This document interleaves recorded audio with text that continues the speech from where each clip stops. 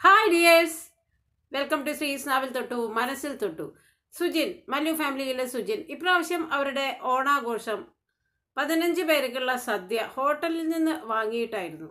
മല്ലു ഫാമിലിയെ സംബന്ധിച്ചിടത്തോളം രണ്ടായിരത്തി പത്തൊമ്പതിലാണ് അവർ യൂട്യൂബിലേക്ക് എന്റർ ചെയ്യണത്. അതുവരെ അവർ ടിക്ടോക്ക് വീഡിയോസിലൂടെ ആ അമ്മയുടെ അസുഖവും എല്ലാം മുൻനിർത്തി വളരെയധികം ജനപ്രീതി ആർജിച്ച് നിൽക്കുന്ന സമയത്താണ് ടിക്ടോക്ക് നിരോധിക്കപ്പെടുന്നതും അതിന്റെ ഭാഗമായിട്ട് അവർ യൂട്യൂബിലേക്ക് വരുന്നത്. യൂട്യൂബിൽ അവരുടെ വീഡിയോകൾ എന്ന് പറഞ്ഞു കഴിഞ്ഞാൽ തുടക്കം മുതലേ കൃത്യമായിട്ട് പറഞ്ഞു കഴിഞ്ഞാൽ ഒരു ബിരിയാണി അതായത് റേഷനരി കൊണ്ടുള്ള ഒരു ബിരിയാണി ഉണ്ടാക്കുന്നതിലൂടെയാണ് അവർ കൂടുതൽ വൈറലായി മാറുന്നതും. ഏകദേശം ഒരു നാൽപ്പത് വീഡിയോ ഒക്കെ ഇടുമ്പോഴേക്കും അവർക്ക് പിൻ വന്നു എന്നുള്ളതാണ് എന്റെ ഒരു തോന്നൽ. അത് കഴിഞ്ഞ് കുറച്ച് നാളുകൾക്കുള്ളിൽ തന്നെ അവരുടെ ഫസ്റ്റ് പേയ്മെന്റ് വരെയായി. പേയ്മെന്റ് ഫസ്റ്റ് പേയ്മെന്റ് വന്ന് തുടങ്ങിയ ആ ദിവസം തൊട്ട് അവർക്ക് തിരിഞ്ഞു നോക്കേണ്ടി വന്നിട്ടില്ല. ഏകദേശം പൊന്നു ആ ആദ്യത്തെ കുഞ്ഞിനെ പ്രസവിക്കാനായിട്ട് ഇരിക്കുമ്പോൾ പ്രഗ്നന്റ് ആയിട്ടിരിക്കുന്ന സമയത്താണ് ആ ഫസ്റ്റ് പേയ്മെന്റ് വന്നിട്ടുള്ളത് എന്ന് തോന്നുന്നു. അത് കഴിഞ്ഞ് അങ്ങോട്ട് അവരുടെ ഏറ്റവും ഭാഗ്യമുള്ള നാളുകളായിരുന്നു. രണ്ടായിരത്തി ഇരുപത്തി മൂന്നിലെ അവരുടെ ഓണം രണ്ടായിരത്തി പത്തൊമ്പതിലെ ഓണം കമ്പയർ ചെയ്യുമ്പോൾ രണ്ടായിരത്തി പത്തൊമ്പതിലെ ആ അമ്മ കൈകൊണ്ടുണ്ടാക്കിയ ഭക്ഷണ സാധനങ്ങൾ വിളമ്പിയിട്ടാണ് അവർ ആ ഓണം ആഘോഷിക്കുന്നത്. രണ്ടായിരത്തി ഇരുപത്തി മൂന്നിൽ സുജിൻ അല്പത്തരം വിളിച്ച് പറയുന്ന പോലെ ഈ ഭക്ഷണത്തിന്റെ കണക്ക് കൃത്യമായിട്ട് അയാൾ പറഞ്ഞു തരുന്നുണ്ട്. അതായത് ഒരിലയ്ക്ക് മുന്നൂറ് രൂപ വെച്ചിട്ട് പതിനഞ്ച് പേർക്കുള്ള ഇലയ്ക്ക് നാലായിരത്തി അഞ്ഞൂറ് രൂപ അയാൾക്ക് വന്നു.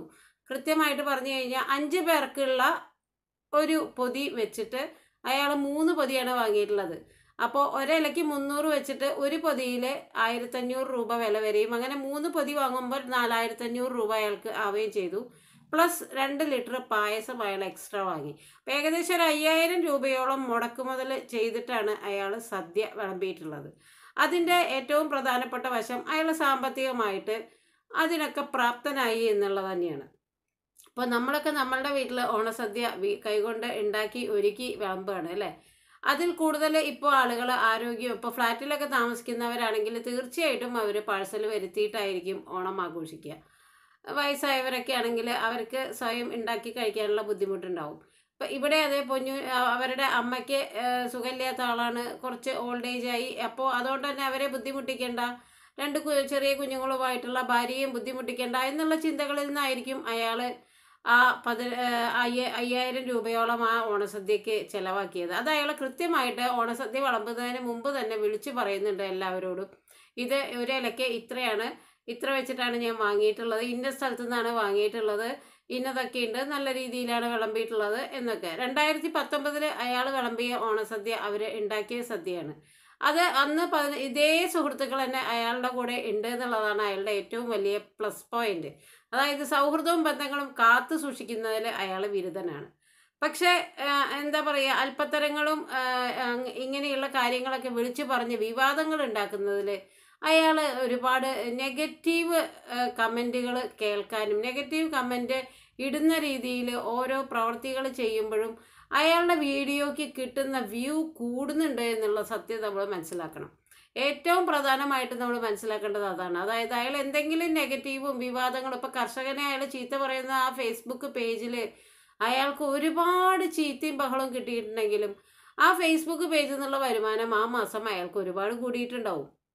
അപ്പോൾ അത് അയാളുടെ ഒരു സ്ട്രാറ്റജിയാണ് ഒരു ഫാമിലി ചാനൽ രണ്ടായിരത്തി പത്തൊമ്പതിൽ തുടങ്ങി രണ്ടായിരത്തി ഇരുപത്തി മൂന്ന് വരെ വിജയകരമായിട്ട് മുന്നോട്ട് പോകണമെങ്കിൽ പല സ്ട്രാറ്റജിയും ഈ വർഷങ്ങൾക്കുള്ളിൽ അയാൾ മനസ്സിലാക്കിയിരുന്നിട്ടുണ്ടാവും. ഒന്നാമതായിട്ട് കൃത്യമായിട്ട് പറഞ്ഞ അയാൾ അയാളുടെ പഴയ വീടിന്റെ ചാർത്തിൽ നിന്നാണ് ഇപ്പോഴും വീഡിയോ ഇടുന്നത്. നിങ്ങൾ ശ്രദ്ധിച്ചിട്ടുണ്ടാവും ആ വീട് മാറി അവർക്ക് നല്ലൊരു വാടക വീട്ടിൽ ഇരുന്ന് നല്ല സൗകര്യങ്ങളോടെ ജീവിക്കാനായിട്ട് തീർച്ചയായിട്ടും അവർക്ക് ഇഷ്ടം പോലെ വരുമാനമുണ്ട്. രണ്ട് മൂന്ന് പോഷ് കാറുകളും പറമ്പും വീട് വീട് പണി നടക്കുകയും ഒക്കെ ചെയ്യുന്ന ആൾക്ക് തീർച്ചയായിട്ടും കുറച്ച് പൈസ കൂടിയേ വാടക വീട്ടിലേക്ക് മാറാനായിട്ടുള്ള സാഹചര്യം എല്ലാം കൊണ്ടും ഉണ്ടെന്നിരിക്കെ. തീർച്ചയായിട്ടും അയാൾ അതിന് ശ്രമിക്കാതെ ആ പഴയ വീടിന്റെ ചാർത്തിൽ ഇരുന്നിട്ടാണ് അയാൾ ആ വീഡിയോകൾ മുഴുവനും പിടിച്ച് നമ്മളിലേക്ക് എത്തിക്കുന്നത്. രണ്ടായിരത്തി ഇരുപത് മുതൽ രണ്ടായിരത്തി ഇരുപത്തൊന്ന് ഇരുപത്തിരണ്ട് വരെ അവരുടെ വ്യൂസ് നോക്കിക്കഴിഞ്ഞാൽ നല്ല രീതിയിൽ വ്യൂസ് പോയിരുന്ന ഒരു ചാനലാണ് മല്ലു ഫാമിലി. പക്ഷെ രണ്ടായിരത്തി ഇരുപത്തിരണ്ട് മുതൽ രണ്ടായിരത്തി ഇരുപത്തി മൂന്ന് വരെ ചെക്ക് ചെയ്ത് കഴിഞ്ഞാൽ അവരുടെ വ്യൂസ് ഗണ്യമായ രീതിയിൽ കുറയും. അതൊരിക്കലും അവർ വീഡിയോ ഇടാതെയോ അത് പ്രൊമോട്ട് ചെയ്യാതെയോ ഒന്നുമല്ല. അത് യൂട്യൂബിന്റെ അൽഗരിത പ്രകാരം ഷോർട്ടുകളെ കൂടുതൽ പ്രൊമോട്ട് ചെയ്യുന്ന സമയമാകുമ്പോൾ വീഡിയോകൾക്ക് വ്യൂസ് കുറഞ്ഞു. അപ്പോൾ അവർ കൃത്യമായിട്ട് ഷോർട്ടിലേക്ക് അവരുടെ ചുവട് മാറ്റി എന്നുള്ളതാണ്. നല്ല നല്ല ഷോർട്ട് ഫിലിമുകൾ മെസ്സേജ് ഉള്ള കാര്യങ്ങളൊക്കെ ചെയ്യുന്ന കാര്യത്തിലൊക്കെ സുജിൻ വളരെ വിരുദ്ധനാണ്. ഒരു ചാനൽ എങ്ങനെ മെയിന്റെയിൻ ചെയ്ത് കൊണ്ടുപോവുക തന്റെ വരുമാന മാർഗം ഇത് തന്നെയാണ്. അവർക്ക് വേറെ ഒരു തൊഴിലും ഇല്ലാന്നിരിക്കെ ആ കിട്ടുന്ന ആ വരുമാന മാർഗം എങ്ങനെ കൃത്യമായിട്ട് മെയിന്റെയിൻ ചെയ്ത് കൊണ്ടുപോകാം എന്നുള്ള കാര്യത്തിൽ മിടുക്കനാണ്. ഈ പറഞ്ഞ പോലെ പഴയ വീടിന്റെ ദാരിദ്ര്യ ലൊക്കേഷനിൽ ഇരുന്ന് അയാൾ ചെയ്തു കൂട്ടുന്ന വീഡിയോകൾ അയാൾ ചെയ്യുന്ന ചെറിയ ചെറിയ ഷോർട്ട് ഫിലിമുകൾ ഷോർട്ടുകൾ ഇതിൽ നിന്നൊക്കെയുള്ള വരുമാനം. ഒന്ന് രണ്ട് ചാനലുകൾ അവർക്ക് എക്സ്ട്രാ ഉണ്ട് എന്നാണ് എന്റെ ഒരു അറിവ്. അപ്പോൾ അതിൽ നിന്ന് പിന്നെ ഫേസ്ബുക്ക് പേജിൽ നിന്നുള്ള ഒരു വരുമാനം. ഇതൊക്കെ കൂടിയാവുമ്പോഴാണ് അവരുടെ ജീവിതം ഇത്രയും സെക്യൂർ ആയിട്ട്. പിന്നെ ഫണ്ട് മാനേജ്മെന്റിൽ ബിരുദനാണ് കിട്ടുന്ന പൈസ കൂട്ടിവെച്ച് പറമ്പ് വാങ്ങി വീട് പണി നടത്തുന്നു വണ്ടികൾ വാങ്ങിയിടുന്നു. ഇനി കുറച്ച് പൈസ എന്തെങ്കിലും ഉപയോഗിച്ചിട്ട് കുറച്ച് സ്ഥലം വാങ്ങണം. അങ്ങനെയൊക്കെയുള്ള ഒരു എയിമോട് കൂടി ജീവിക്കുകയാണ്. പിന്നെ പ്രത്യേകിച്ച് അയാളെ പറ്റി പറയാനുള്ള പ്ലസ് പോയിന്റ് അയാൾ അയാളുടെ സൗഹൃദങ്ങൾ ആദ്യത്തെ രണ്ടായിരത്തി പത്തൊമ്പതിലെ ഓണത്തിന് അയാളുടെ കൂടെ ഇരുന്ന് ഉണ്ട ആളുകൾ അതേ ആളുകൾ തന്നെയാണ്. രണ്ടായിരത്തി ഇരുപത്തൊന്നിലും അയാൾ അയ്യായിരം രൂപയുടെ പോഷായിട്ടുള്ള ഓണസദ്യയിൽ പങ്കെടുക്കാൻ വിളിച്ചിട്ടുള്ളത്. അപ്പോൾ ആ ഒരു സൗഹൃദങ്ങൾ കൊണ്ട് അയാൾക്ക് ഒരുപാട് നേട്ടം ഒരുപാട് മുതൽക്കൂട്ടും ആണ് എന്നുള്ളത് കൊണ്ടാണ് അയാൾ അതെപ്പോഴും മെയിന്റെയിൻ ചെയ്തു പോകുന്നത്. ഫാമിലി ചാനലുകൾ പലതും പരാജയപ്പെട്ടു പോകുന്നതിന്റെ കാരണം അപ്ഡേറ്റ് ആവാനായിട്ട് അത് ബുദ്ധിപൂർവമായിട്ട് സബ്സ്ക്രൈബേഴ്സിന്റെ മനസ്സിലേക്ക് കടക്കുന്ന ചില കാര്യങ്ങൾ അതിന്റെ ആ ഫോർമുലകൾ കൃത്യമായി പഠിച്ചിട്ടാണ് മല്ലു ഫാമിലി ഇപ്പോഴും രംഗത്ത് നിൽക്കുന്നത്. കാര്യം എന്തൊക്കെ പറഞ്ഞാലും അവരുടെ വ്യൂസ് ഇപ്പോൾ വീഡിയോകളിൽ നോക്കിക്കഴിഞ്ഞാൽ ചിലപ്പോൾ ഇരുപത്തൊന്ന് കെ ഒക്കെ അവരുടെ വീഡിയോ അത്രയും വ്യൂസ് കുറഞ്ഞ വീഡിയോകളുണ്ട്. പക്ഷെ അവർ ഷോർട്ടിലൂടെയും ഷോർട്ട് ഫിലിമിലൂടെയും ഫേസ്ബുക്ക് പേജിലൂടെയും ഒക്കെ അത് മേക്കപ്പ് ചെയ്ത് പോകുന്നുണ്ട്. പിന്നെ വിവാദപരമായിട്ടുള്ള പ്രസ്താവനകളും ഏറ്റവും അധികം കർഷകരെ അപമാനിച്ചുള്ള കാര്യങ്ങളൊക്കെ സുജിൻ നടത്തുമ്പോൾ അതിലൂടെയും സുജിൻ നെഗറ്റീവായിട്ടുള്ള സുജിന്റെ വീഡിയോയ്ക്ക്. ഇപ്പോൾ വേറൊരു യൂട്യൂബറെ സുജിനെ വിമർശിച്ചു എന്നും പറഞ്ഞ് സുജിൻ ഇട്ട ആ വീഡിയോയ്ക്ക് എൺപത്തിനാല് കെ ഉണ്ട്.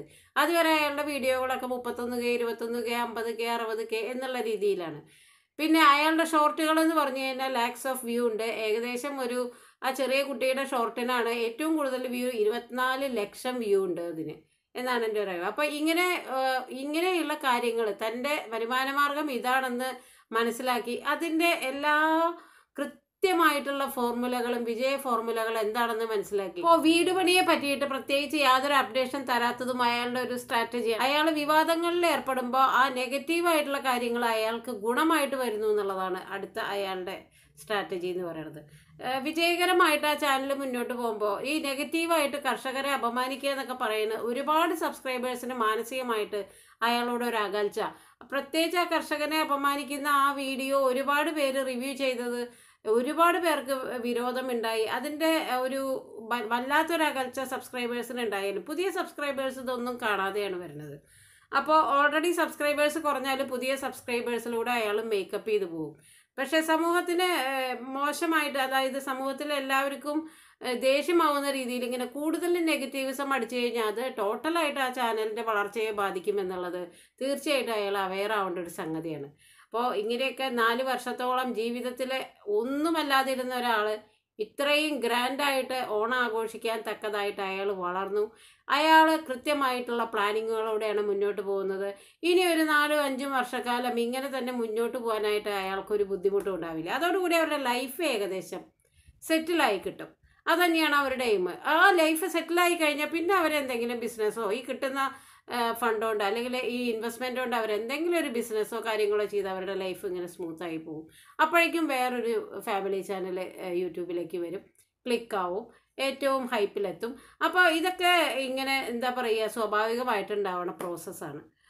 അപ്പോൾ ഇതൊക്കെ പുതിയ ഫാമിലി ചാനലുകൾ തുടങ്ങാനായിട്ട് ആഗ്രഹിക്കുന്നവർ തീർച്ചയായിട്ടും ഇത്തരം സ്ട്രാറ്റജികൾ കൂടുതൽ നെഗറ്റീവിലേക്ക് പോകുന്നത് തീർച്ചയായിട്ടും അത് അവർക്ക് ദോഷം തന്നെയാവും. ഇപ്പോൾ ഉടനെ അതിന്റെ ദോഷങ്ങൾ കാണിച്ചില്ലെങ്കിൽ ലോങ് ടൈമിൽ അതൊരു ദോഷമായിട്ട് വരും എന്നുള്ളത് ഉറപ്പാണ്. എല്ലാവർക്കും നന്മ വരട്ടെ. നന്ദി. നമസ്കാരം.